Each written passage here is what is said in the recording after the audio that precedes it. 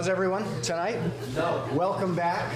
Um, you may have been here many, many times. We have been here uh, quite a few times over the past, it seems like five years or so, maybe not that long. Um, but we're here to talk to you about uh, the work that the Bethel Royalton Merger Committee has been doing. Um, it's pretty exciting work. We're very, very kind of fired up uh, about this plan and, and, hope that you will be too. Um, this version of the brief, you may have seen some of these, it's going to look very similar to you, but there's not a lot of the, um, the contextual stuff that you saw that you saw before. We tried to reduce that and really focus on the stuff that matters, kind of the core educational architecture and opportunity kind of stuff. Um, so that's what we're going to focus on. So um, this will be the basic flow. Uh, these are the topics. We give you a very brief Act 46 overview, talk about why merge, then go over the proposed structure in detail, breaking it down from high school, middle school, uh, elementary school, and then the SEAL program, uh, also very exciting. Get into financials and then entertain your questions uh, after we're done. Sound good? Questions to this point? Great. Act 46, simple. The, the bottom line is to increase efficiency and equity by creating larger school districts, save money, opportunity goes up, outcomes improve. That's basically it. For this, uh, the incentive deadline is November 27th, so the work that we're doing right now needs to be done, signed with a bow on it by, uh, by November 27th, and we're confident that uh, we can get there uh, once we pass this uh, during, uh, during the vote. So there are a few different reasons um, why we, we would merge. I mean, first of all, there's, there's Act 46, but more importantly than that, we've seen declining enrollment um, in both of our schools over the past 20 years or so. Um, this graph shows that there was a peak enrollment um, in the mid-1990s. And since then, even though there have been years where things have spiked, um, the trend has continued downward. So it makes sense for us to bring our student populations together um, to be able to put some of the course offerings that our students are saying that they're interested in and that we believe they, they need um, in order to increase educational equity for all kids in our district. Um, while student populations have declined, um, costs have gone up. You're still heating a building and running a school with fewer kids in it. So if you do the, do the math, you're spreading that cost around for fewer students.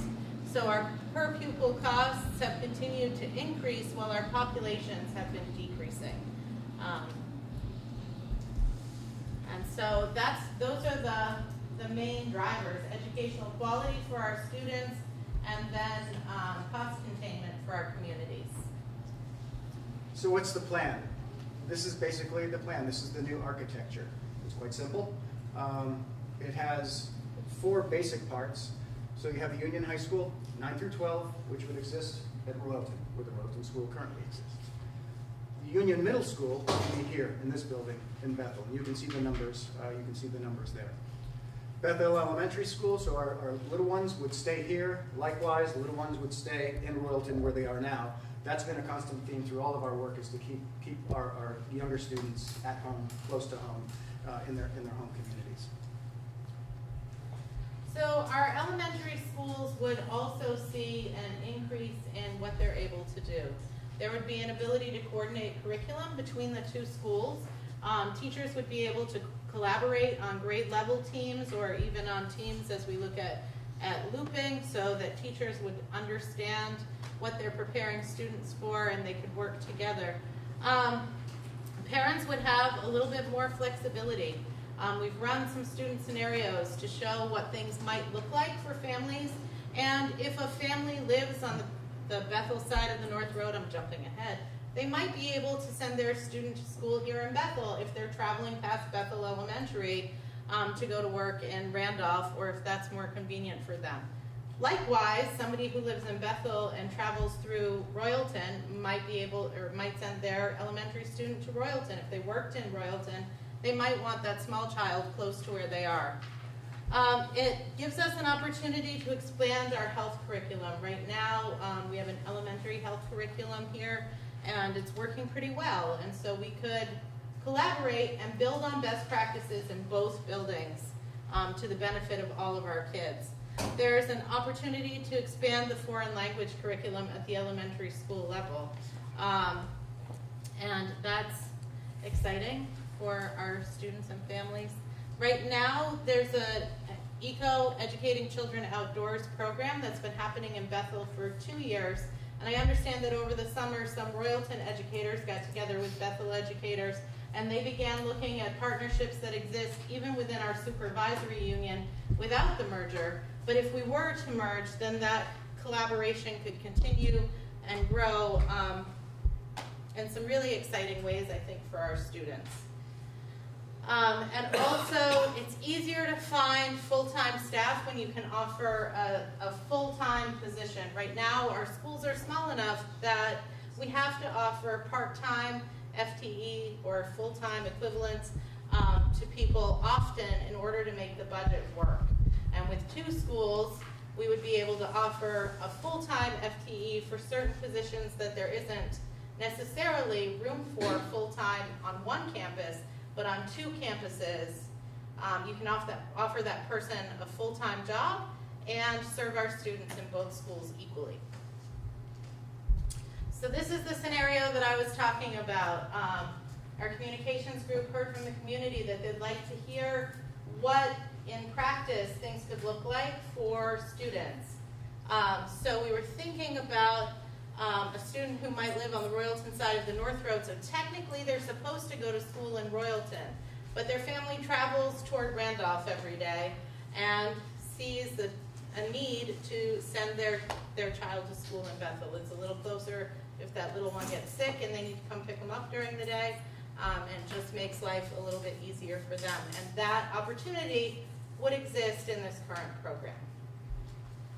Middle school, pretty exciting capabilities and, and opportunities here. Uh, with the dedicated facility and faculty against it would be it would be here, uh, kind of partitioned off uh, in this building. Uh, inter interdisciplinary teams, uh, very flexible schedules, student-teacher advisory, so you'd have that contact between a student and an adult through through the uh, the, the, the, the, span of the child's experience. Um, expanded grade-appropriate athletics, so we would have kids that are um, at the middle school age, uh, not like fleeting up and playing soccer with 9th, 10th, and, and 11th graders, which can be an issue. And we've had that, and that's just a function of having small schools. We want to give the kids as many opportunities as we can, but we don't have teams that we can build at every grade level. With this consolidation, more higher likelihood that we can do that and sort of right size and align uh, age to, to uh, participation. And then um, uh, the ability to incorporate this SEAL idea, the SEAL program, into the middle school level. Lisa talked about the ECO, Educating Children Outdoors program that we are already running, have been running for a couple of years. Royalton has it for the first year, uh, this year. So we have some good positive momentum there, and the SEAL program is something that we can, um, we can build, um, build onto in the middle school and, and high school levels. Um, so one of the things that we've begun work on is creating interdisciplinary teams at the middle school level. So there would be grade level teams with teachers representing um, the core classes, so social studies, English, math, science, and they're planning and working together so that perhaps students are studying um, something driven by their interests, perhaps solar energy. Um, and so they are reading text in English class about solar energy in Vermont and some of the the positive benefits of that, but also um, some of the things that people are concerned about, like pasture land being filled with solar panels. Um, and then in science class, they're looking at the benefits of sustainable energy and the, the potential downsides of solar energy. In math, they could be thinking about you know, angles and how you have to put those panels in order to make them work. Um, and in social studies, there are clear social implications of all the things that we've been talking about um, for our society and communities and global citizenship in terms of managing energy. So those grade level teams could actually all have a piece of that work and supporting students in understanding and solving problems and doing this project-based learning that is a part of our SEAL coordinators work We'll get more into that. but that coordinator could help support teachers to make community connections. And those grade level teams are preparing instruction that's designed for the developmental needs of middle school learners. Sometimes it's a little more hands-on than it is for high school kids, involves more movement than it sometimes does for high school kids.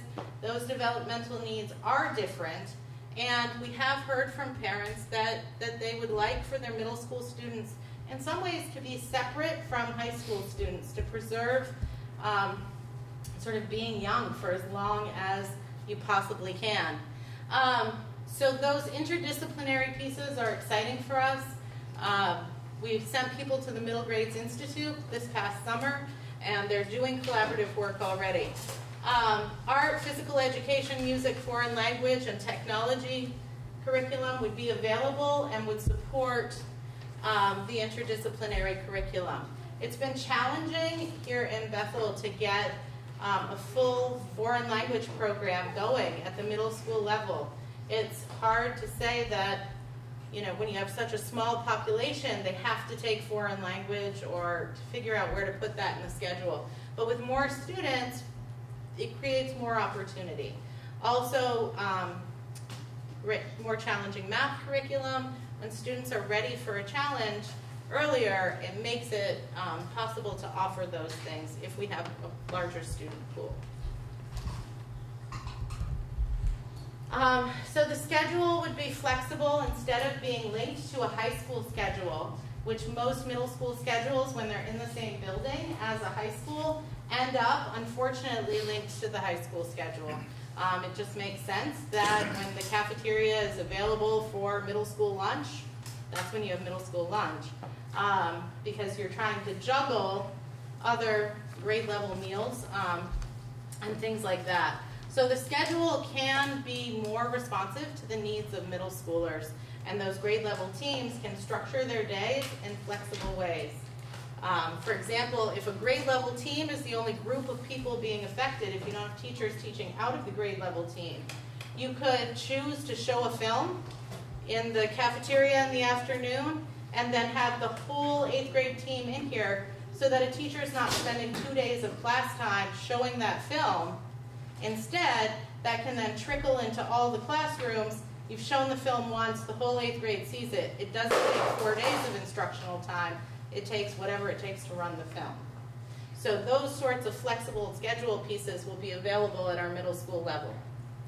Um, there could be whole school drama productions, community-based learning with our middle school students, um, small groups of students pursuing interests beyond what's in the curriculum, um, looking at, again, that project-based learning piece where student interest is allowed to drive the work that they're doing, and teachers are facilitating their learning. So the middle school uh, uh student scenario here, as you can see, um, they access their daily programming from their, their grade level team, and it's developed uh, specifically with the early adolescent brain in mind. And one interesting thing about this work that went into the design of the middle school uh, piece is that our team that worked the concept of operations, which was, which was from both, both current districts, worked with uh, the Tarrant Institute at, at, UVM, which is essentially a, an educational think tank that focuses specifically uh, and specializes in this age range and grade range. And our folks um, have been working real hard uh, with them to put this together. And this is where the concept came from. But the flexible schedule that Lisa talked about, um, it allows, it allows uh, them to tailor their learning to their interests, very aligned with the whole philosophy of the, of the, uh, the PLP, the Personalized Learning Plan is perfectly aligned with that. Um, and the student uh, might be able to uh, pursue science by uh, pursuing interest in robotics. we might be able to um, have access for her to go and do those things. Um, and then advanced math and Spanish while still having time to do other uh, courses that, that are non-core courses like, uh, like jazz band. So again, the focus here, interdisciplinary, kind of isolated, and flexibility.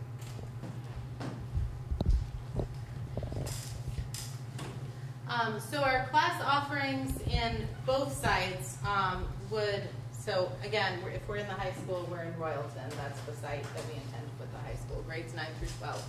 Um, there would be more, more course offerings. Um, the exciting thing that I heard when we first looked at this, and Dean and Owen shared some of the work that they've been doing, is that even um, just with our two schools merging, the number of courses that they're able to put in the schedule and still make the schedule run would constitute an 80% increase in offerings for students at Whitcomb and a 30% increase for students in Royalton. So either way, it's an increase in student opportunity, excluding the fact, which is reality, that they would have more peers to work with. Um, there would be fewer under-enrolled classes. So right now, the, there's a large number of classes um, in both schools with fewer than 10 students. And some of the more challenging AP classes in Royalton, from what I understand, have under five. Um, and so those are the sorts of things that we'd like to see improve. There's potential to add engineering, medical science, computer science tracks. Um, one of the things that they're starting in 2018-19 at the Hartford Technical Career Center that we'll see um, show up on a future slide is a um, computer security program at the Hartford Technical Career Center. Um, so if we were offering computer science at the high school, then that would dovetail really nicely with, with working with the Hartford Technical Career Center. Um, larger departments also provide more opportunity for teachers to collaborate. It's invaluable for professionals to be able to have time together and start to um, look at alignment, have conversations about what's happening in their classrooms, and to get ideas from each other. Um, it can be challenging to do that work day in and day out if you don't have peers to have those conversations with. So we're excited for people to be able to collaborate more. I'd like to call out uh, one thing, uh, and Lisa hit on it too, but what to take away from this little graph here. Uh, Lisa mentioned Royalton increased by 80%, Bethel increased by 30% in terms of course offerings, and you see that here. Um, think about that in terms of building capacity building capacity to teach. And you can do that in a couple of different ways. One, you can create new courses. You have the flexibility now to create new offerings. And that's where the potential to add engineering, medical science, computer science comes from.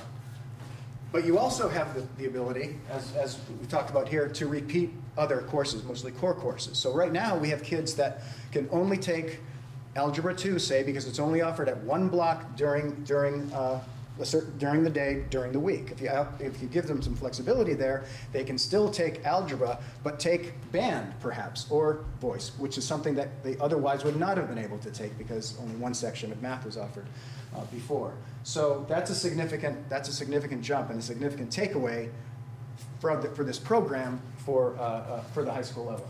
And some of what we've heard from community members is that students can't access classes because of the schedule, that the schedule gets in the way of students being able to access classes.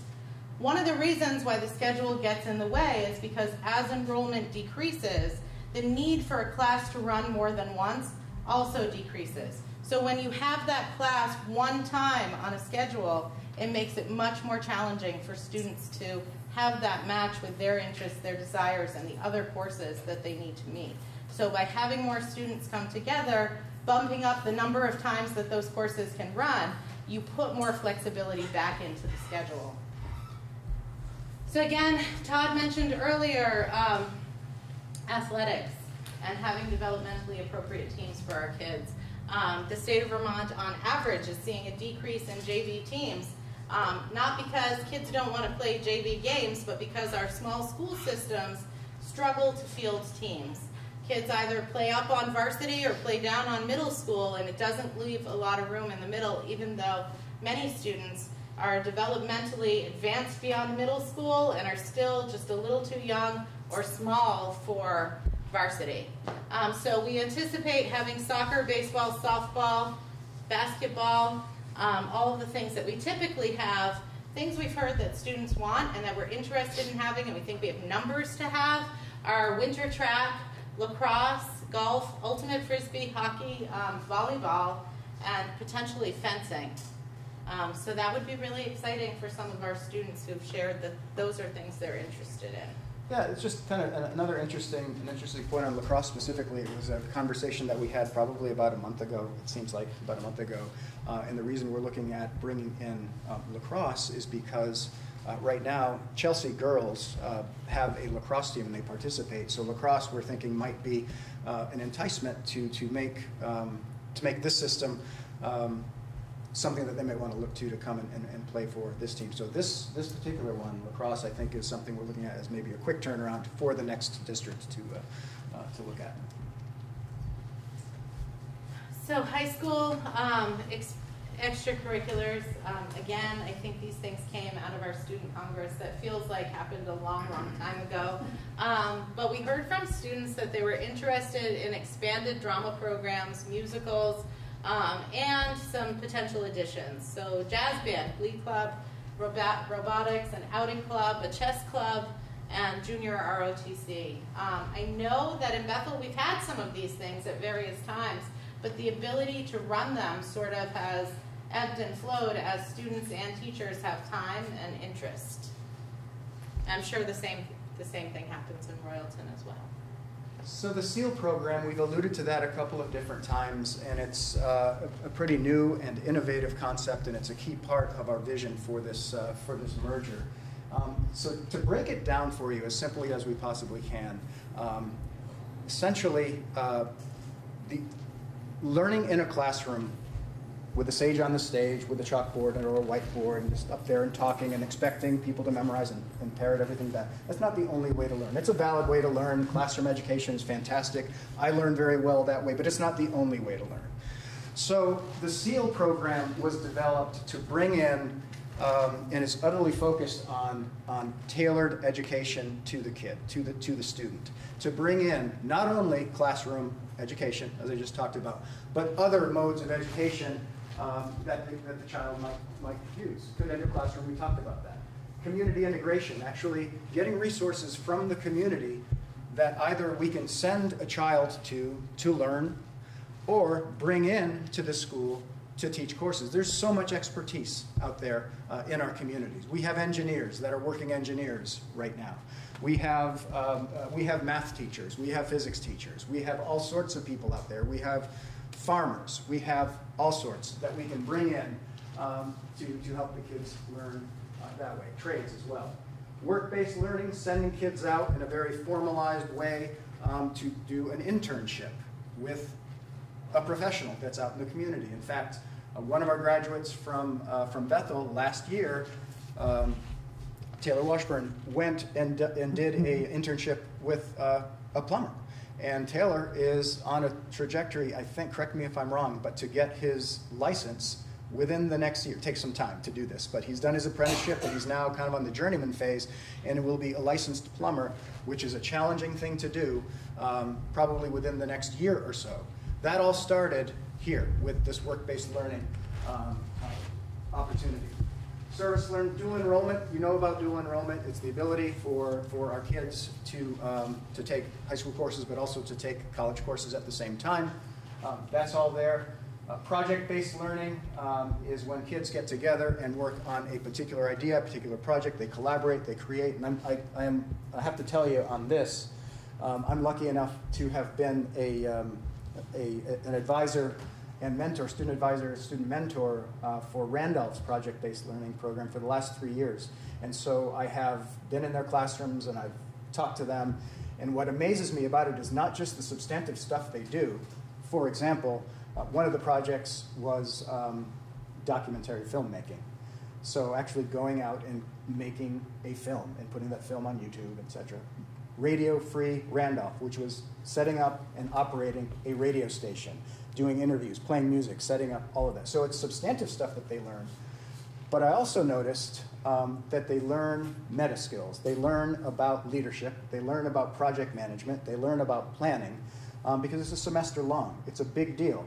And um, every year that I go back and talk to a class, uh, I just see growth from the first time I talk to them to the end of it, and it's just it's bewildering. Not bewildering, but it's it's enlightening and it's heartening to see that happen.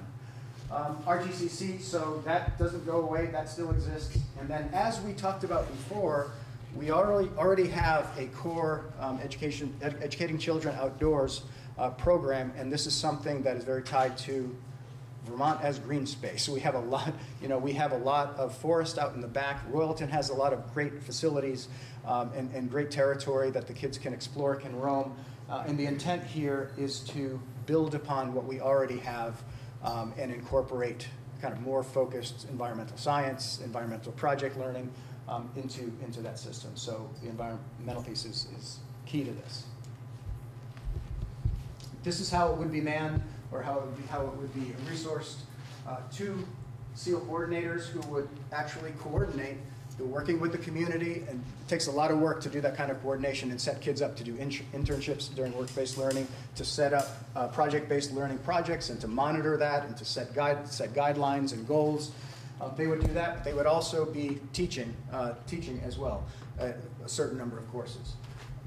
um, again, outdoor resources, both Bethel and South Royalton, and um, we have explored and, and, have seen a willingness on the part of Johnson State College and Castleton to work with us on uh, the outdoor education uh, piece of this as well. So part of this would be something like um, a student might go in to a program and come out of it with wilderness first responder, with, um, uh, with leave no trace ethics you know, certification, things like this, all very, very available, and these, these uh, institutions, Castleton Johnson, are excited about the program. They want to work with us.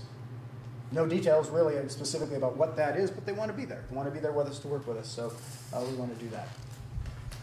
So we have two high school scenarios, um, just so that people could understand what this might look like for students. So if we had a student who really felt too confined in the classroom and was ready for an opportunity beyond what's offered in your traditional curriculum, that student could work with our SEAL coordinator, um, take part in community-based learning, find a local farm that they want to work with, spend a couple days a week on a farm, and then spend the other days in the classroom. So they're taking part in hands-on, community-based experience, they're doing an internship, but then we have a SEAL coordinator who can help that person to document the proficiencies that they need to meet in order to graduate on time with their class because um, Act 77 tells us that students need to show proficiency in a variety of areas. And I think that teachers in the state of Vermont have been trying to wrap their heads around that and to expect a 17-year-old without guidance to be able to figure out, I need to meet this proficiency and here's how I'm going to do it, um, wouldn't be fair to our students. So the SEAL coordinator um, would be there to help them um, go out, do the things that they're passionate about and excited about. At the same time, um, they're meeting proficiency and they're on track to graduate with a diploma just like everybody else. Um, our other student, student scenario might be a student who um, has taken a lot of electives, has taken a lot of the core classes that have been offered. It gets to be their senior year. They don't really have a ton left to do, but they're excited about other challenges within their school. And their leadership is important to a school community. At least I think that's important to a school community. It makes me really sad when I hear that more than half of the senior class went to VAST. And those kids aren't in the building for our younger students to look up to anymore and to work with them. Um, so this student makes a decision to spend half a day in Spanish, I mean half a day in Royalton. They take Spanish 4 because they've taken it for other years and they want that on their transcript. They also are able to continue to be in band in high school um, in a leadership role because they've been in that band for quite some time. Um, they're in their community high school and then they're able to access program at the Hartford Area Career and Technology Center um, in the computer science program focused on internet security that they're excited about and is perhaps on the path that they hope to pursue after they leave high school. So now we're going to move into um, talking a little bit about the financials, the numbers. Before we move into that, though, I, I do want to, um, Lisa and I both, and in fact for our whole committee, I think I can speak for, is to thank the administrators uh, and our educators so much for doing a lot of this work. In a lot of ways, we're up here just, you know, we're talking dogs. They did the crunch work. They did the crunch work of putting these concepts of operations together. They're the professionals, and thank you very much for all of the help going into this because I think we've created a really good. Okay, now on to the good news. Um, Financial incentives, you've probably seen this before, right? Um, Part of the incentive for Act 46 is a decreased tax, tax rate starting for the 18-19 school year. It's, it starts at .08 and then it goes down over four years by, by two cents. The other piece of it that applies to us here is uh, the transition, transition uh, facilitation grant, which is to the tune of 150,000 one time first year of operation. So that's on there. Um, what didn't come over was the small schools grant. Um, that's because Rochester's not part of this plan anymore. And what was the other one? The um, hold harmless, hold harmless, which is which is protection against um, loss of too many kids affecting our cost of cost per pupil. There's a whole there's a lot of math behind it. You Can go over it if you want. Don't think we need to. Um, Right, so here is what things will look like for Bethel with the two scenarios. So no action, um, which it says underneath that's not actually possible. So no action, um, we could vote to take no action, but at the end of November, the state board is going to start looking at um, how they want to move schools um, together. So the that's the tax rate projected um, if we didn't take act- action. And then um, the lower line is proposed with 36 extra tuition students in our high school, so our 9 through 12 grades. Um, that number seems like it is within the realm of possibility. Right now in Royalton, there's 25 tuition students. Um, so that would add only 11. And we're assuming that Chelsea is moving to choice. Um, there are other schools in the area that are looking seriously at becoming choice schools. And so they um, hopefully would look favorably at our combined school. So we do think that 36 tuition students is a number that is reachable for us. Um, so there's significant savings. There was more savings, um, but we realized that the state of Vermont said you can't have a more than 5% decrease. And so that was where the floor was for the savings um, for us. So that's why you see that the rate um, is 1.73 in F fiscal year 18, um, but then it drops the following year um, and it doesn't continue to go up again until fiscal year um, 2022.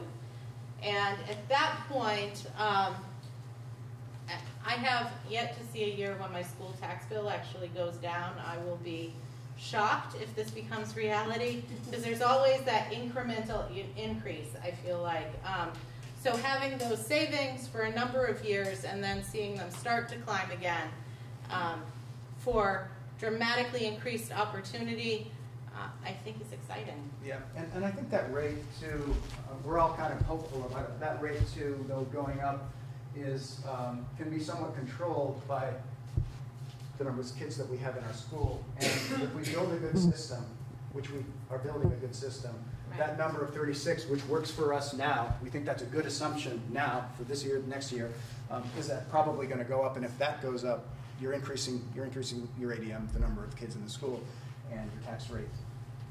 It may not go down, but it may not go, rise up uh, as sharply after after 22.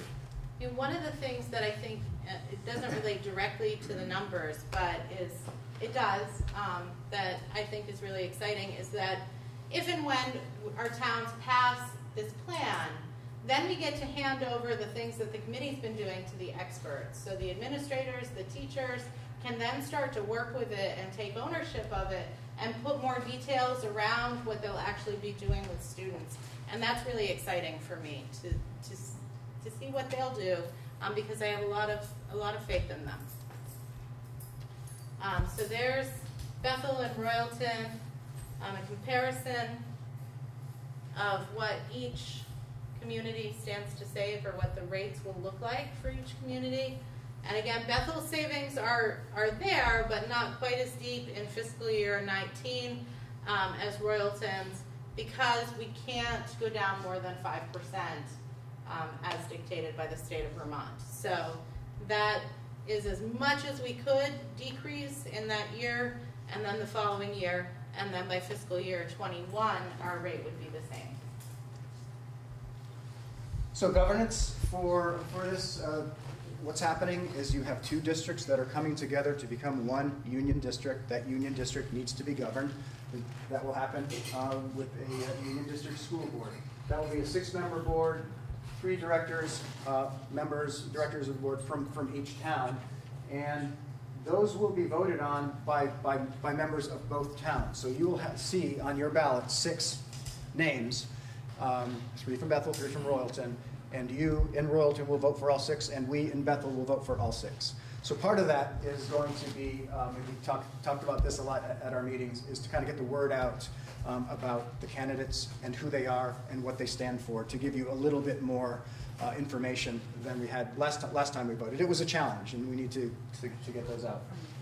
Uh, the budget, uh, it's voted on Australian ballot, and, um, I, I think that was a change that we made, and that's actually a Oh. mistake in the slide. Did we? So I Oh. think in the report, it's that they'd be voted on in both towns from the floor. Um, so that's a mistake in. One, one yeah. town meeting.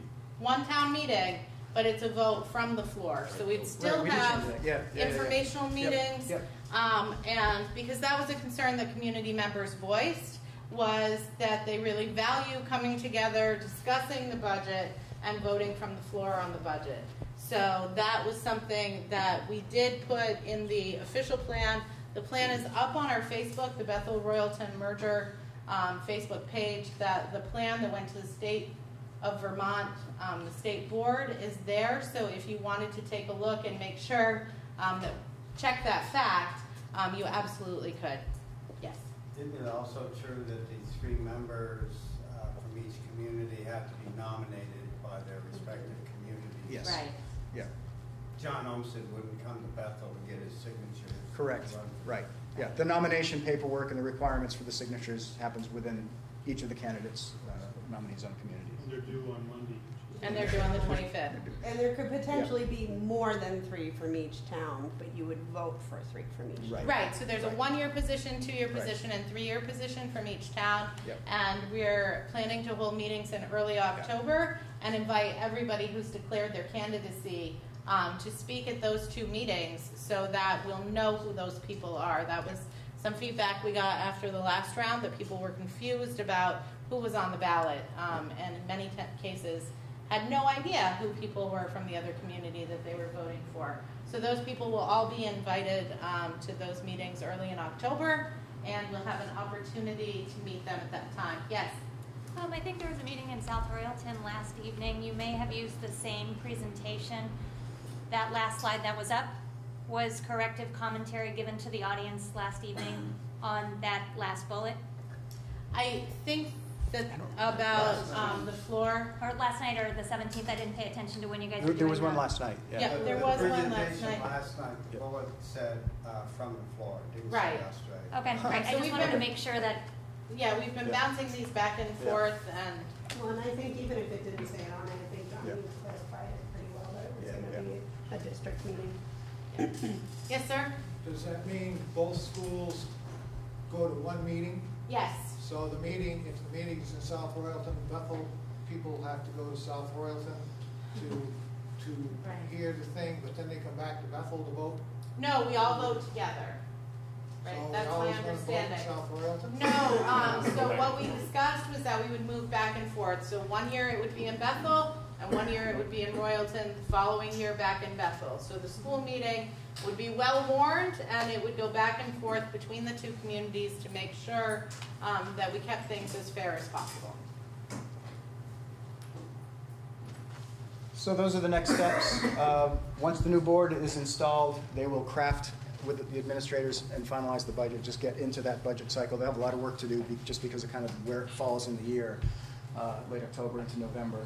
Um, New curriculum, so there's going to be a lot of curriculum building that's going to happen in in all of the, all of the schools. And then we'd be operational for July of 2018, and this would, this would start in uh, the 18-19 school year. And that concludes these remarks. Any questions or comments? Yes, Mr. Putney?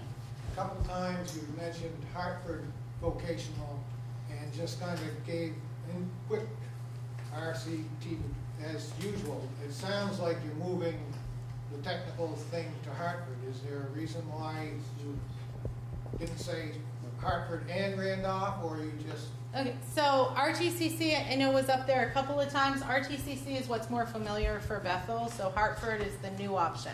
Both remain on the table, and I think that the articles that we've agreed to with RTCC indicate that if there's a program at Randolph that's also at Hartford, our students have to go to Randolph.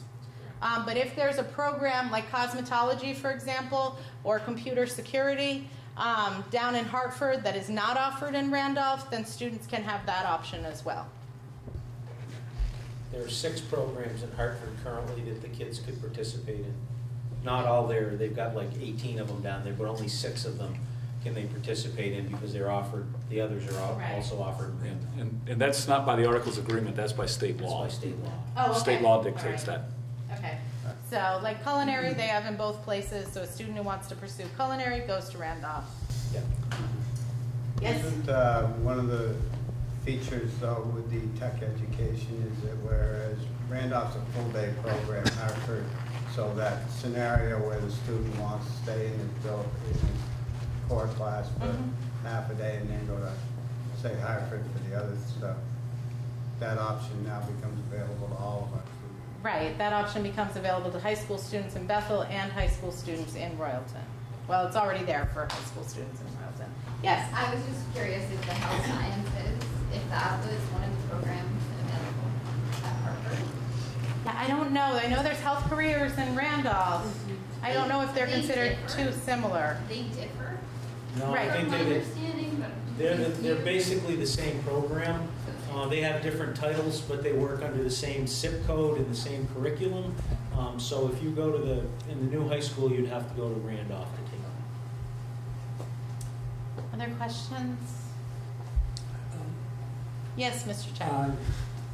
Uh, should But then- Oh, I was sorry. I'm sorry. Yep. Did somebody, you you want to say something? Or- Yeah.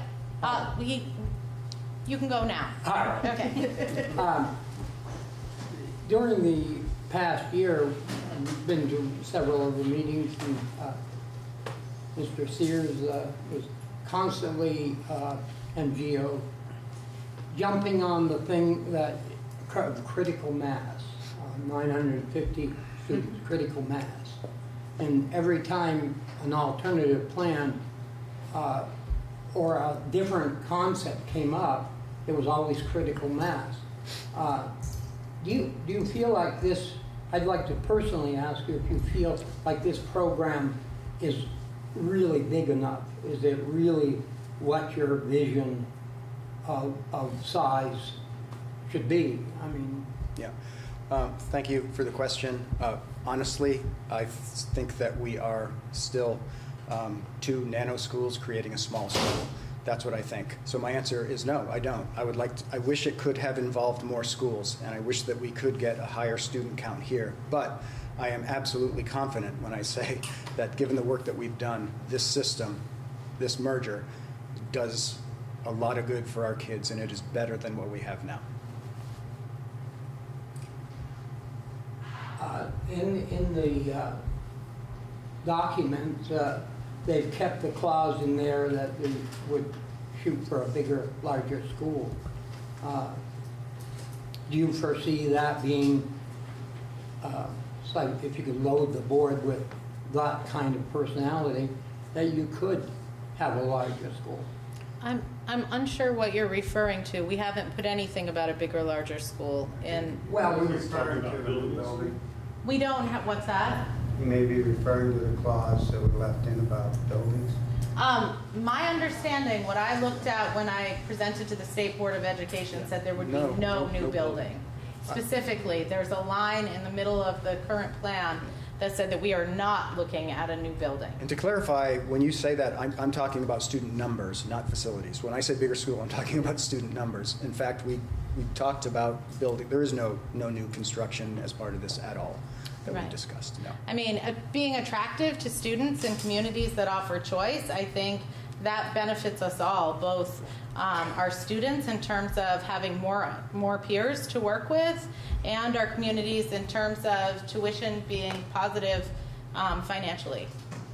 So, Uh, um, Thinking back to what you said we're two nano schools. If the original proposal went through, we'd have three nano schools, still with one Small schools. small school. Yes.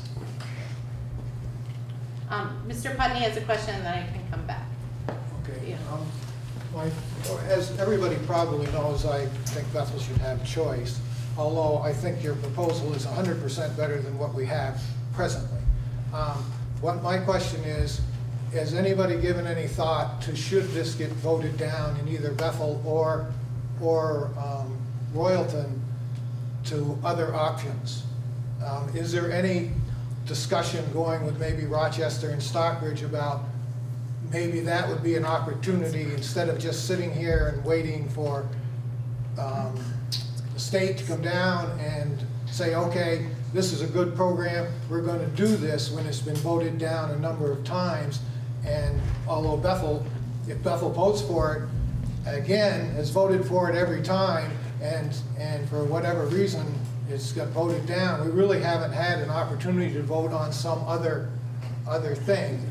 And I think that the Bethel School Board would be um, remiss without looking into other options that might be available should this get voted down. And I think um, maybe because I've been vocal about, about um, my Bethel being choice, that a lot of people think I'm totally against this merger. I'm not, but uh, a lot of people think I, the people that are against it have talked to me, and I think there's, this isn't a slam dunk. I think there's a lot of people that have a whole lot of questions. I think more in Royalton than in Bethel. I think Royalton people don't want to have their, half of their decisions on their, their school be decided by Bethel people when they have more, more people. They're not crazy about their younger kids being the ones that have to, have to um, be transported. So again, I just think that the Bethel schools should be looking at other options and have them there so that when the state comes down and says, what do you think? Well, this is what might happen if we joined Rochester and Stockbridge. And as far as the tuition things, if your program works with 36 extra kids, hopefully the Bethel kids with choice will fill the numbers. I, so we had Plan B on the table, which seemed like a pretty clear choice to designation or choice. Um, when that was on the table with Rochester, looking at that path, um, I don't know what the experience was like for Todd or other people in the room, um, but I kept hearing from people at Belmain's and at Shaw's and in a variety of places. Um, well, it's really a shame. It's too bad we couldn't just work with Royalton and keep our schools in our communities. Um, that was part of the reason that we went to the state board and asked that that plan be revoked, is because I was hearing so overwhelmingly, and I think other members of the board and the community um, were as well. There were some people, yourself included, who emerged who said, you know, choice would be great for us to look at. But I feel like we had a path to choice on the on the table, and we were hearing from people who said, this isn't really what we want. We want a school in our community. I don't think it's a slam dunk, but I also think that time um, is sort of of the essence here.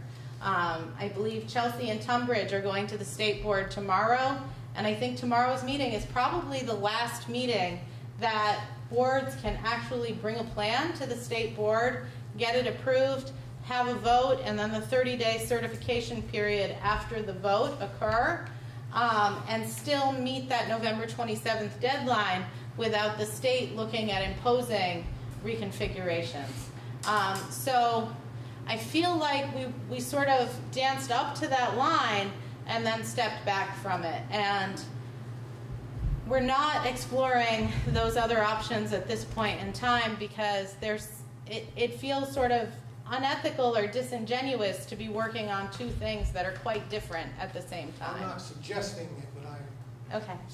well, I am suggesting that you, you talk about it and maybe throw the numbers out there and, and that sort of And, thing. and we did say at our board meeting, I think it was about a month ago, that if this fell apart, if Bethel said, no, this isn't what we're interested in, Um, and if the opportunity presented itself, then we would feel bound to explore choice. Knowing, Um, knowing that we would not be doing it um, and be able to meet the Act 46 uh, lines. Ju- So- Actually, I'm more concerned about Royalton voting it down than Bethel, but um, should it get voted down, it gets voted down regardless of who does it. Um, Sorry, I lost my train of thought. Um, You were just about to say what's going to happen after it gets voted out. Then, then we all have a party. Oh, my point is, it's really hard to judge what the communities are doing. Look at this room, and this is the biggest number of people I've seen at any of these meetings, and I didn't go to the early ones, and, and but shame on me, but I think it's really hard to know what the community is thinking, and I think there's a lot of misconceptions out there, and for the life of me, I don't understand why parents aren't here asking the questions that, that I am, or anybody else is, but I completely agree. so, I- so I think understanding what these people are, and we got a lot of older people who vote more than the young people who are, don't have kids in school, like myself, and, and, it's- um, shut. Appreciate having you here. Mr. Kraus? This is a, I don't know if it's, well, yeah, it's pertinent to the, to the combining of the schools. Per, students with physical disabilities, their ability to participate fully in SEAL and in the outdoor education are, what if any, uh, what, adjustments or, account- or whatever do we provide for that? Um, so I think that that's a question better suited to one of our administrators, so, Owen? I appreciate that, because uh, we, you know, if you would assume, and- and we do, that educators want to educate everybody. So that's like what we believe, but we also have to by law. We are accommodating some students already. Good. And what we, we don't want anybody to see that or know that as much as possible, but we do it. But if we ever ran into a situation where there was some sort of barrier, we would reach out to experts at the next level, the state probably or further. So it's a great question. Thank you. Any other questions? Yes? have, it's a political statement, I guess, really, but I personally believe that apathy is the biggest enemy of public education. And when you divide a town up uh, and take away its school, take away its governance, uh, you, you're gonna increase apathy, and I was wondering if there has ever been a study, uh, there's been all kinds of studies, but has there ever been a study on whether consolidation increases apathy? I, I haven't seen a study that speaks to whether consolidation increases apathy, but I think in our last round of talks, you brought that up. Um, and so I had an opportunity because I do some work with the Rowland Foundation, um, and that's a network um, with Vermont schools. And so, as a Rowland Fellow, I was able to network with other schools that they connect with. And so, I pointedly spoke to administrators and to community members who came to meetings that I was at and educators from those communities. And they shared that after a short time, um, it felt like one community. Specifically, I um, took to heart the things that I learned about the Rivendell School District because they were even larger when we were working with Rochester. Their kids commute even further than our kids would have commuted with the Rochester kids there. And what they noticed is that parents still work really hard to get to their kids' games. Um, they do a thing where they do a community movie night. So some of the movies that have been produced in Vermont about the opiate epidemic and some of the movies that have been produced in Vermont about a variety of other social issues, they would show screenings at school, much as we've done here in Bethel, and I'm sure you've done in Royalton as well. Um, and they still saw people from every segment of the population, and they were looking um, at that at, at that data. Who's coming? which kids aren't getting parents to school. Are they from specific communities or is there something else at work? Um, and what they found is that their community became bigger.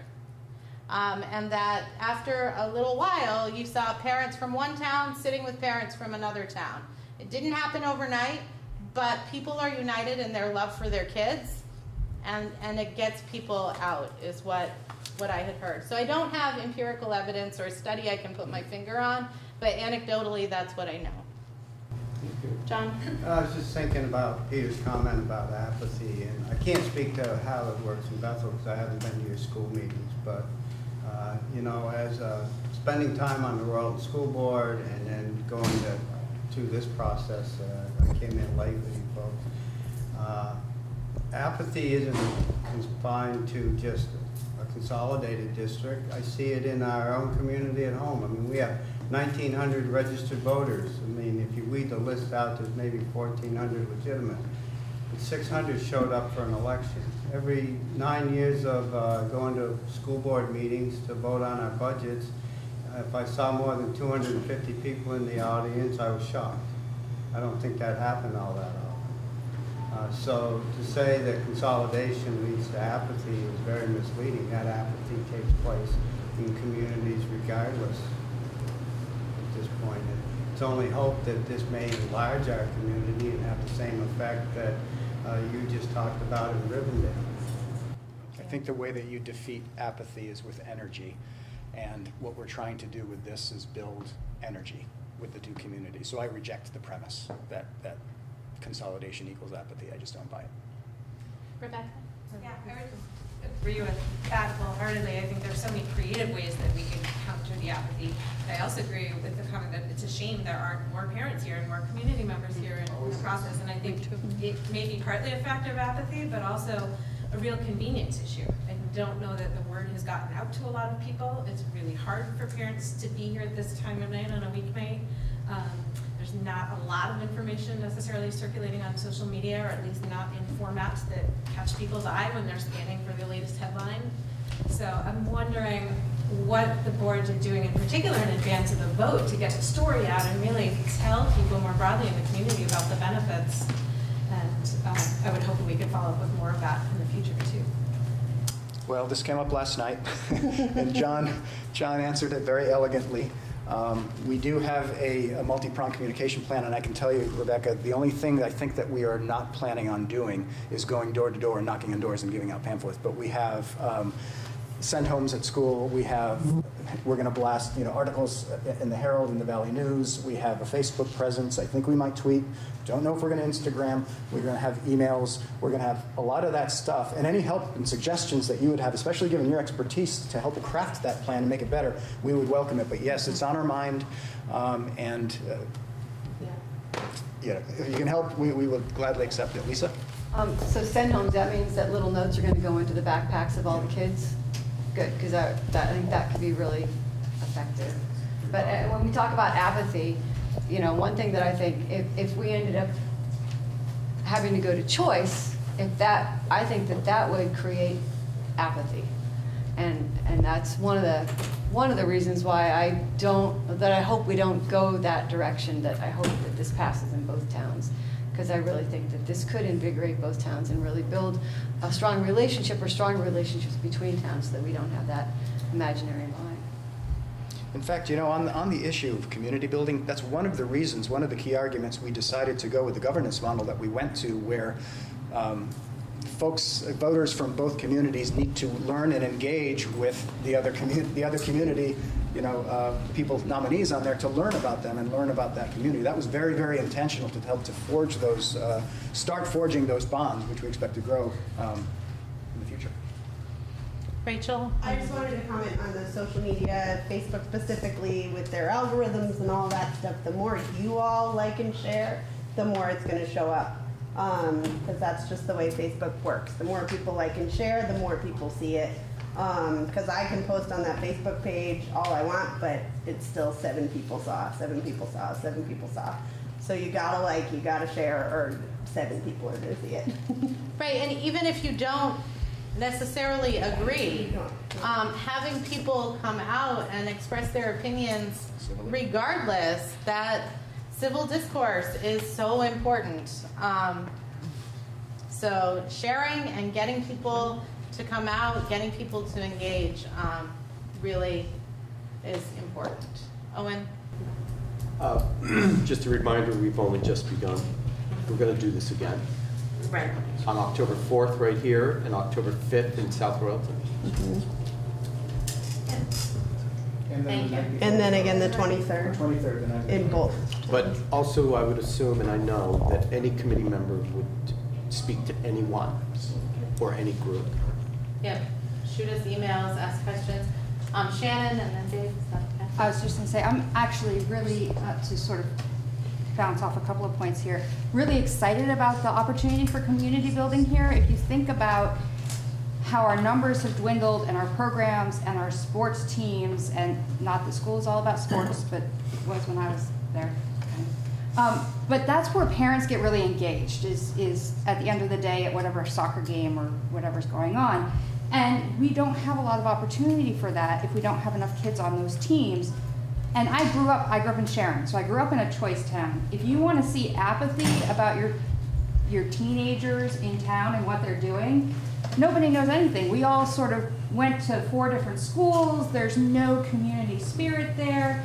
And this way, we get to keep all of the kids from Bethel, all the kids from Royalton, all together and just build a bigger community where we're all involved in their lives and stay involved K through 12 instead of just K through 6. So it's one of the things I worry about with choice is that you just don't have a lot of community after sixth grade.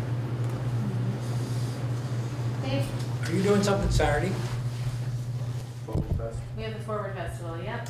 You have you You mean little- is our group doing Yeah, you a something little Saturday? something, little corner in the middle of Yeah. town? We're not playing, but we'll be there. Right. I know I'll be there. You have it. I could wear a button that says, ask me about school consolidation. I'll put a little We'll on my table. Okay. Yeah, that's a good point. Thank you. I was shocked to learn something about our school, uh, that we were the last school that allowed their parents to walk their little kid down to the first grade. And now, uh, that's been discontinued. Um, So we're like the rest of the people. Um, But to me, it's sort of an indication that, um, you know, the school has a identity bigger than the, the community, bigger than the people. Uh, And I really think parents, grandparents, uncles, aunts in the community make the community. If, if they're denied access to their school, it becomes, you're, you're more prone to the, the shootings and the things like that. If people are part of the thing, there's a more of a chance that you're not gonna avoid, you're gonna avoid some of that. Uh, it, it's that, it's that business of the school being so professional that it's out of reach of, of the people that don't come to meetings like this. They're all professionals. Uh, Well, I, I understand what you're saying, and I, I enjoy that community feel in schools. Um, but I, I also know that as we look at public safety, unfortunately, there are a lot of things that have shifted in our society. And having, you know, been in a school where you're locked down because there's a parent who's angry or upset about, you know, a divorce or custody battle, I think that that's why schools have been pushed to make those sorts of hard decisions. And it does feel like an intrusion, and it feels like it separates community.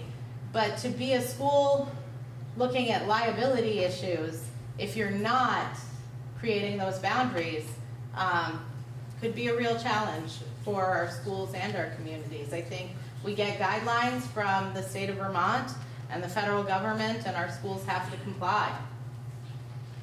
So, um, I think we have school board meetings. I don't want to cut anybody off. Please feel free to send me an email um, But we do have both board meetings here in the building, separate rooms, seven PM. We're already gonna start a little late. What's that? At the end of the Whitman Hall. At the end of the Whitcomb Hall. All right, thank you all for coming out. Bring your neighbors on October 4th and 5th. Thank you.